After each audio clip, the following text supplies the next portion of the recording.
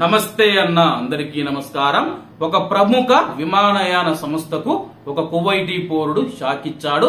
అలాగే టర్కీలో అతనికి వ్యాపారానికి సంబంధించిన ఒప్పందం కోసం కువైట్ నుంచి ఒక విమానంలో టర్కీకి బయలుదేరి వెళ్ళాడు.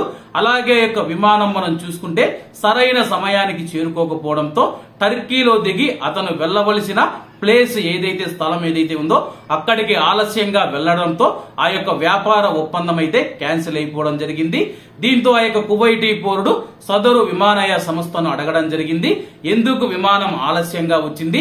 ఇలా విమానం ఆలస్యంగా రావడం వల్ల నాకు వ్యాపారానికి సంబంధించిన ఒప్పందం డీల్ ఏదైతే ఉందో అది క్యాన్సిల్ అయిపోయిందని చెప్పి ఆ యొక్క సదరు కువైటీ పౌరుడు ప్రశ్నించినప్పుడు అలాగే ఆ యొక్క విమానయ సంస్థ నుంచి సరైన సమాధానం రాకపోవడంతో ఆ యొక్క కువైటీ పౌరుడు కువైట్కు వచ్చిన తర్వాత కోర్టులో ఆ యొక్క విమానయాన సంస్థ పైన అయితే దావా వేయడం జరిగింది.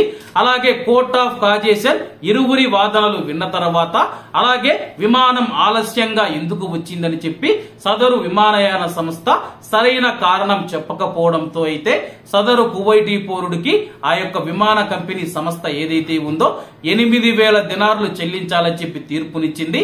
మరీ ముఖ్యంగా మనం చూసుకుంటే వేల మంది లక్షల మంది ప్రజలు మనం చూసుకుంటే ప్రపంచవ్యాప్తంగా తమ యొక్క పనుల నిమిత్తం అలాగే వేగంగా వెళ్ళడానికి విమానాలను ఆశ్రయిస్తూ ఉంటారని చెప్పి సరైన సమయానికి విమానాలు చేరుకోకపోతే పెద్ద పెద్ద వ్యాపార ఒప్పందాలు కానీ ఇతర పనులు ఏవైతే ఉన్నాయో అవి వాయిదాలు పడే అవకాశం ఉందని చెప్పి చాలా మంది ఇలా వాయిదాలు పడుతూ ఉన్నా సరే పెద్దగా పట్టించుకోరు.